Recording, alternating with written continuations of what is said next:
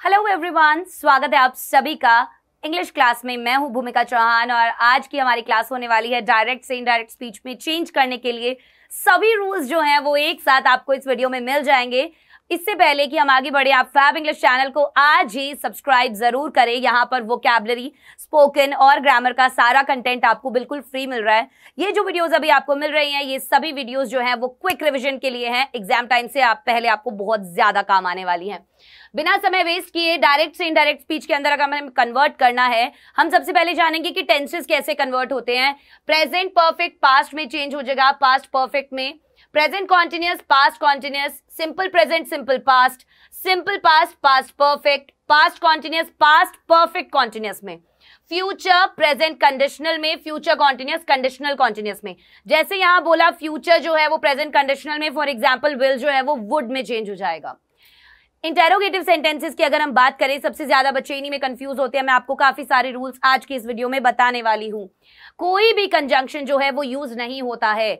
कब interrogative sentence में, जब यहाँ पर कोई भी क्वेश्चन वर्ड दिया होगा। For example what where when अगर ऐसा कोई क्वेश्चन वर्ड आपको दिया हुआ है तो आप वहाँ पर कोई भी कंजंक्शन यूज़ नहीं करेंगे, क्योंकि वो अपने आप में एक ज्वाइनिंग क्लॉज की तरह काम करेगा। For example where do you live आज द बॉय आप कहाँ रहते हैं? लड़के ने पूछा।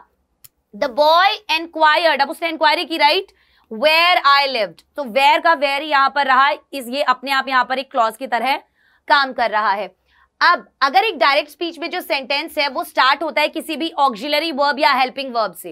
राइट फॉर एग्ज़ाम्पल यहाँ पर जैसे ये विल से शुरू हो रहा है। Will you come for the party तो आप हमेशा यहाँ पर क्या करेंगे? वेदर और इफ़ का यूज़ करेंगे। ज्वाइनिंग क्लॉज की जगह। सो इफ़ और वेदर का मतलब कि एज ज्वाइनिंग क्लॉज यहाँ पर इफ़ और वेदर का इस्तेमाल किया जाएगा। जैसे शी आज whether we would come for the party clear हो गई ये बात। तो यहाँ पर अगर कोई भी ऑक्सिलरी वर्ब या हेल्पिंग वर्ब से स्टार्ट हो रहा है तो वहाँ पर आप वेदर और इफ़ का यूज़ करेंगे। नेक्स्ट चीज़ रिपोर्टिंग वर्ब्स अगर सेड और सेड टू है तो वो चेंज होंगी। ध्यान रखिएगा इंटेरोगेटिव सेंटेंस के अंदर। वो चेंज होंगी एनक्वायर्ड आस्ड और डिमांडेड में। फॉर एग्ज़ाम्पल यहाँ पर भी आस्ड में चेंज हुई थी। यहाँ पर भी ही said to me what are you wearing अब वॉट आ रहा है यहाँ पर। मैंने अभी आपको एक रूल बताया, यहाँ पर अगर वॉट आ रहा है तो वो ऐसा का ऐसा रहेगा।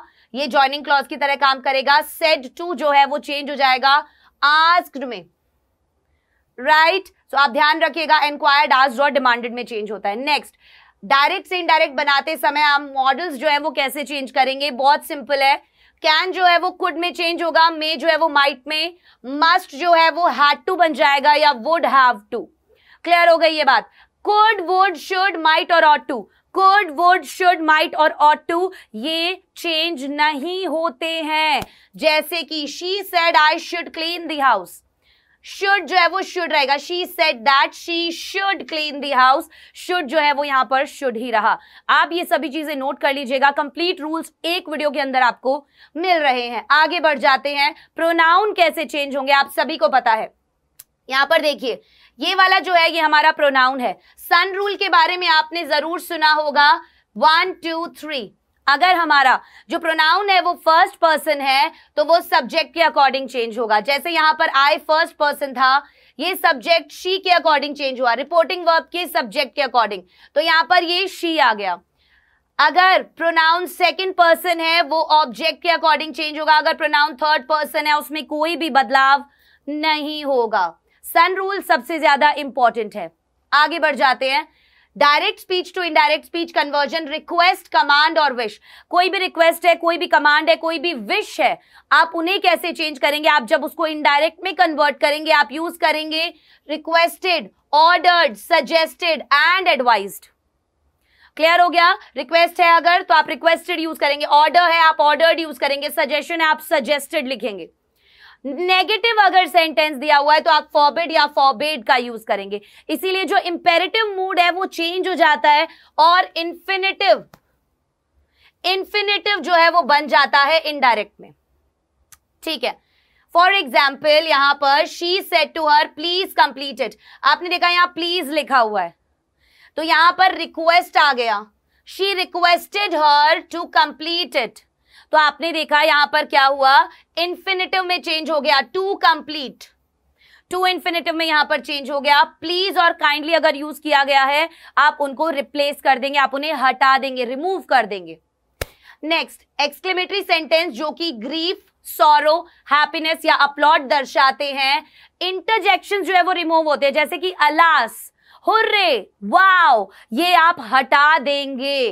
जैसे she said alas I am undone right so आप चेंज करेंगे, जब आप क्या करेंगे? अलास जो है उसे हटा देंगे। She exclaimed sadly she exclaimed sadly ये हुए। अब हम फाइनली बताएँगे टाइम के अकॉर्डिंग क्या बदलाव होता है।